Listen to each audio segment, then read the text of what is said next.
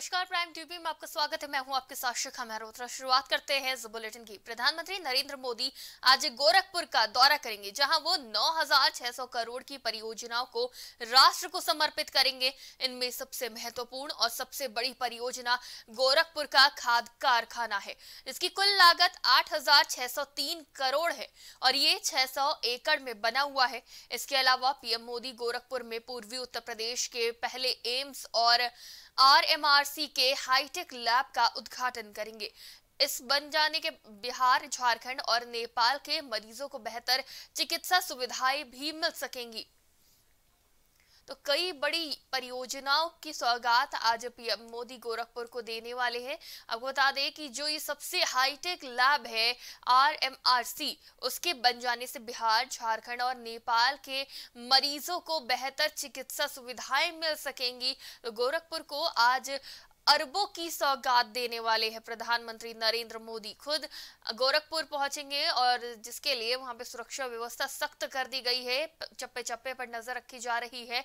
प्रधानमंत्री नरेंद्र मोदी आज गोरखपुर के दौरे पर रहेंगे। इसके बाद वो काशी के दौरे पर भी रहेंगे। आपको बता दें कि गोरखपुर में 9,600 करोड़ की परियोजना को राष्ट्र को समर्पित करेंगे और इसमें सबसे महत्वपूर्ण है परियोजना खाद कारखाना। ये सबसे बड़ी परियोजना है गोरखपुर की। गोरखपुर का खाद कारखाना जिसकी कुल लागत 8,603 करोड़ है और ये 600 एकड़ में बना हुआ है। इसके अलावा पीएम मोदी गोरखपुर में पूर्वी उत्तर प्रदेश के पहले एम्स और आरएमआरसी के हाईटेक लैब का उद्घाटन करेंगे। आज प्रधानमंत्री नरेंद्र मोदी गोरखपुर के दौरे पर रहेंगे। कई परियोजनाओं का लोकार्पण और शिलान्यास भी करेंगे। प्रधानमंत्री नरेंद्र मोदी आज गोरखपुर के दौरे पर रहेंगे, जहाँ वो कई बड़ी योजनाओं की सौगात गोरखपुर को देंगे। 9,600 करोड़ की सौगात देंगे प्रधानमंत्री। 2022 विधानसभा चुनाव से पहले कई सौगातें देते हुए नज़र आ रहे हैं। लगातार उत्तर प्रदेश के दौरे पर नज़र आ रहे हैं प्रधानमंत्री नरेंद्र मोदी और आज एक बार फिर कई योजनाओं को सौंपेंगे।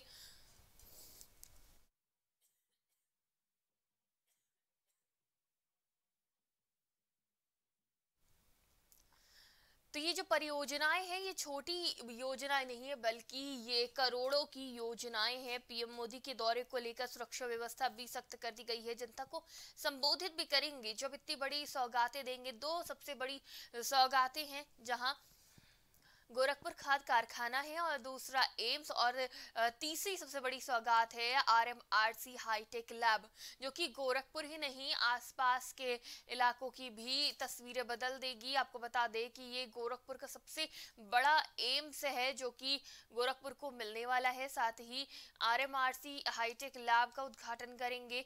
आपको बता दें कि इससे बिहार, झारखंड और नेपाल के मरीजों को सबसे ज़्यादा मदद मिलेगी।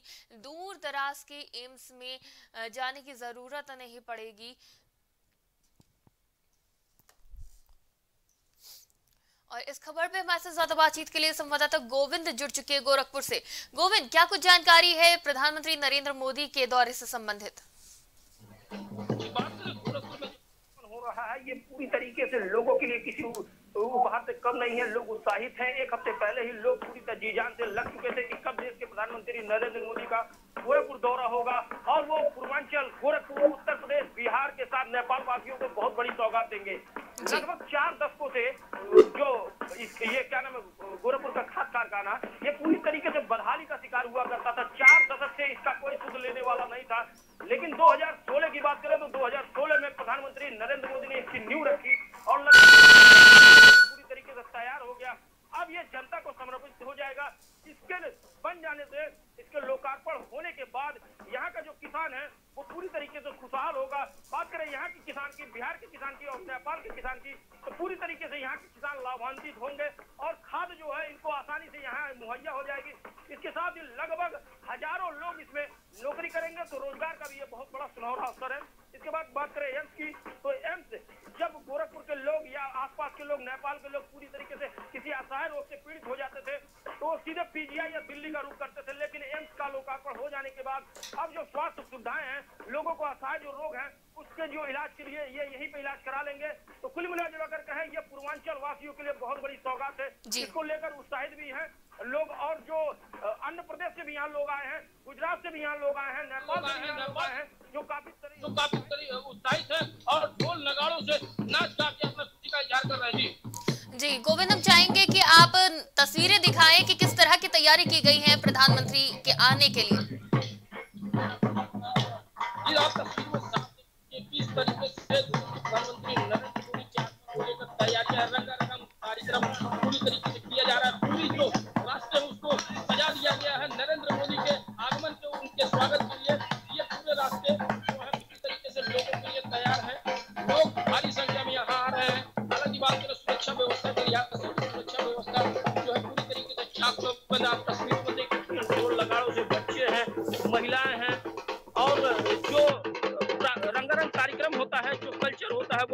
तरीके से यहाँ आज आप लोग आपको देखने को मिलेगा बिहार से राजस्थान से बात करें नेपाल से तो तमाम तरह के कलाकार यहाँ पे आए हुए हैं। जी। और जो गोविंद क्या आप यहाँ पे मौजूद लोगों से बात कर सकते हैं कि उन्हें कैसा लग रहा है? जब आज प्रधानमंत्री नरेंद्र मोदी गोरखपुर को इतनी बड़ी सौगात देंगे तो कितने खुश नज़र आ रहे हैं लोग?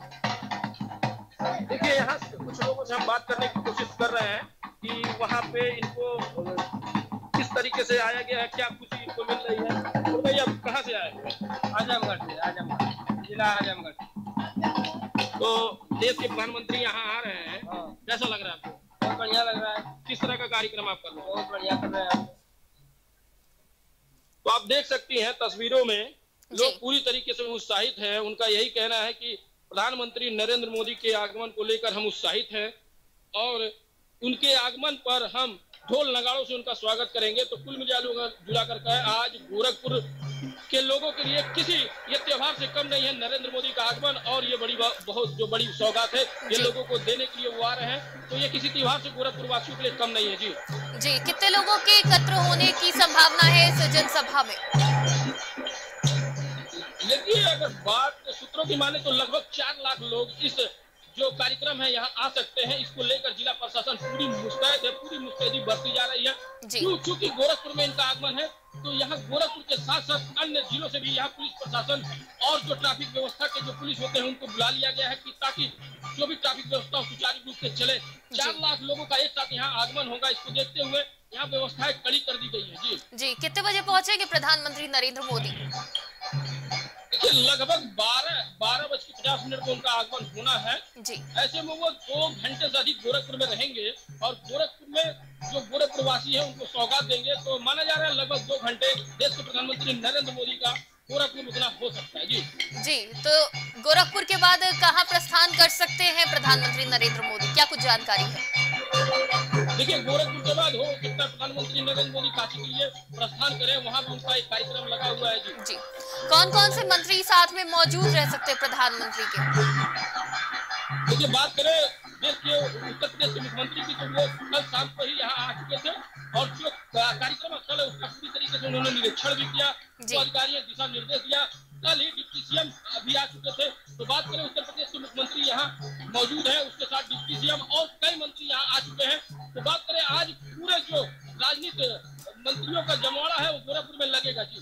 जी तो जिस तरह से इतनी बड़ी सौगात दे रहे गोरखपुर को प्रधानमंत्री तो जनता को संबोधित भी करेंगे। क्या कुछ कह सकते अपने संबोधन में?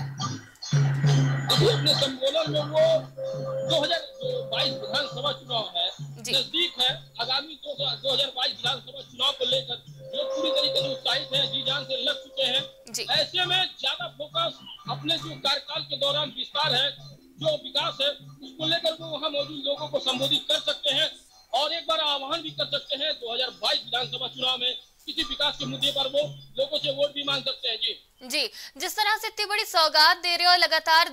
है उत्तर प्रदेश के प्रधानमंत्री नरेंद्र मोदी तो इससे विपक्ष को कितना असर पड़ सकता है?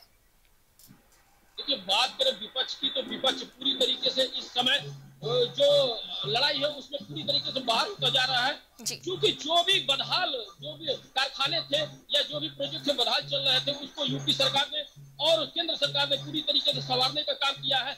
ऐसे में जो लोगों को रोज़गार मिल रहा है जो लोग कभी बदहाली का शिकार होते थे जो किसान कभी परेशान होते थे उनको अब बहुत बड़ी सौगात मिलने वाली है। तो कुल मिला करके इसका फ़ायदा तो बीजेपी को 2022 विधानसभा चुनाव चुनाव में ज़रूर मिलेगा। जी। जी गोविंद जिस तरह से इतनी बड़ी सौगात दे रहे हैं प्रधानमंत्री नरेंद्र मोदी तो इससे लोगों का स्वास्थ्य सुविधाओं का तो अच्छा होगा ही रास्ता खुलेगा ही साथ ही रोज़गार के कितने अवसर पैदा होंगे?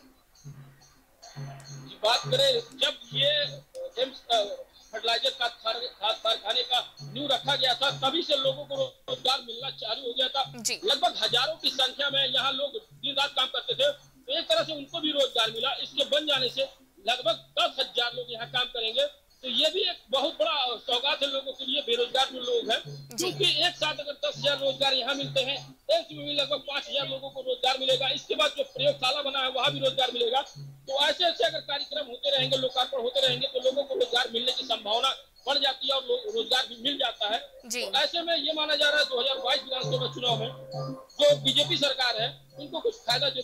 जी बिल्कुल। बहुत बहुत शुक्रिया हमारे साथ जुड़ने के लिए और तमाम बातचीत के लिए। इस खबर पर हमारे साथ संवाददाता गोविंद जुड़े थे गोरखपुर से। तो गोरखपुर आने वाले प्रधानमंत्री नरेंद्र मोदी उनके साथ ही मुख्यमंत्री योगी आदित्यनाथ और डिप्टी सीएम भी मौजूद रहेंगे। राज्यपाल आनंदीबेन पटेल भी उनके साथ मौजूद रह सकती है। तो सभी प्रमुख नेता मौजूद रहेंगे जब प्रधानमंत्री नरेंद्र मोदी गोरखपुर आएँगे। तकरीबन दो घंटे गोरखपुर में रहेंगे जनता को संबोधित करेंगे। और कई बड़ी जो परियोजनाएँ हैं, उसकी सौगात जनता को देंगे और उसके साथ ही वो अपना संबोधन भी देंगे। साथ ही जो बीजेपी का कार्यकाल रहा है उत्तर प्रदेश में, जितनी भी उपलब्धियाँ हासिल करी हैं और गोरखपुर के लिए जितने भी काम किए, उसको भी गिना सकते हैं अपने संबोधन के दौरान। उसके बाद वो काशी के लिए प्रस्थान करेंगे और आपको बता दें कि काशी के दौरे पर भी रहेंगे। इस बुलेटिन में फ़िलहाल इतना ही, तमाम खबरों के लिए देखते रहिए प्राइम टीवी।